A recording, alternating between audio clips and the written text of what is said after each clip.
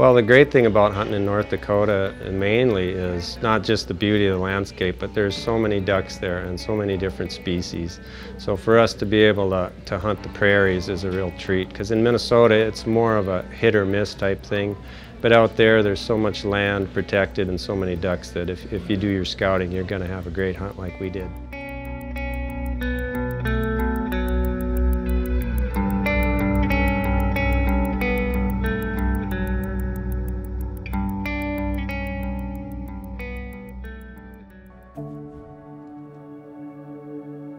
I grew up uh, in a family of artists and duck hunters. I kind of got the art side from my mom and the duck hunting from my dad. You know, I was looking for a, a career at the time and I thought what a better way than to uh, involve duck hunting and painting. Well, Jim's the youngest brother and he got into it. He was the first to get into it and really thought he could make a, a living at it and he got us inspired to do the same thing and got us going. I mean, the most striking thing for me is just both of them compared, how different they are.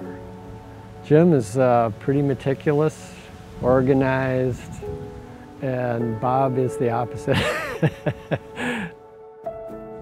when I was about 16 and I started dabbling a little bit with the painting, I didn't have a camera, I didn't have any reference, and I remember my mom went to a garage sale and got a huge stack of DU magazines, and here was all these pictures of these ducks. So in 1989, I won my first contest, and that was just an amazing experience.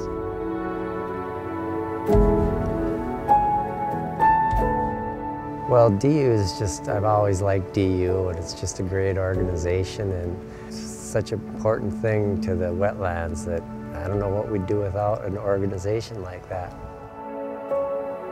I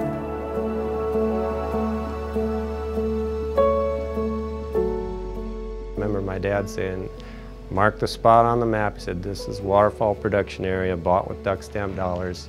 You can hunt there and no one will harass you. So that's what we grew up hunting. So it means a lot to give back to that program and continue to expand it. It's a great feeling to see the uh, prairie pothole region and then you see a sign with duck stamp dollar, raised by duck stamp dollars and it just really makes you feel good to know that your artwork helped in preserving so much land.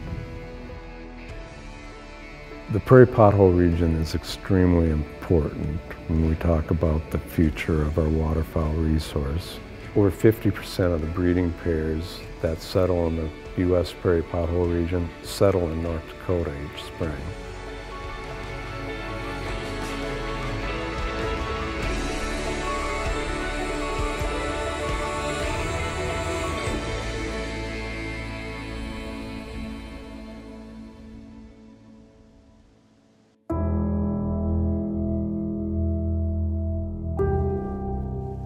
I guess every painting I do is a new endeavor for me and it usually starts with some kind of experience that I've had duck hunting or fishing or just being in the wild and that's really the most exciting part when you see something and you just want to try to capture it in paint.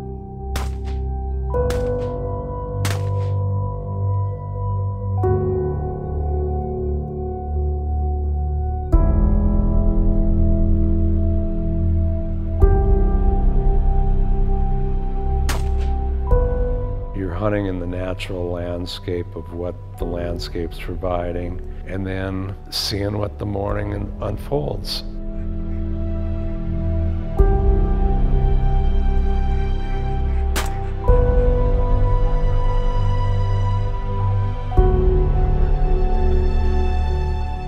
It's just a good feeling to be involved in a program that you know is so successful actually be involved and be able to design the painting on the stamp is really it's a good feeling.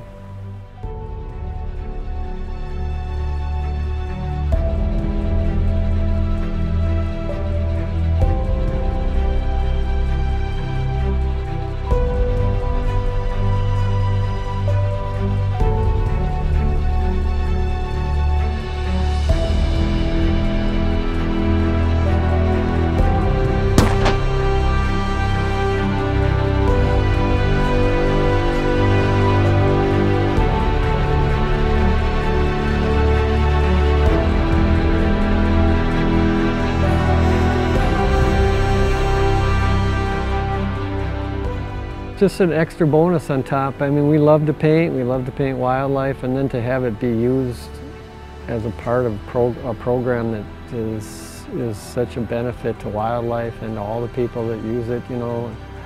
All that gets turned into, through fish and wildlife people, through organizations like Ducks Unlimited. It's just, uh, it's just really satisfying to see how much can be made out of a little painting.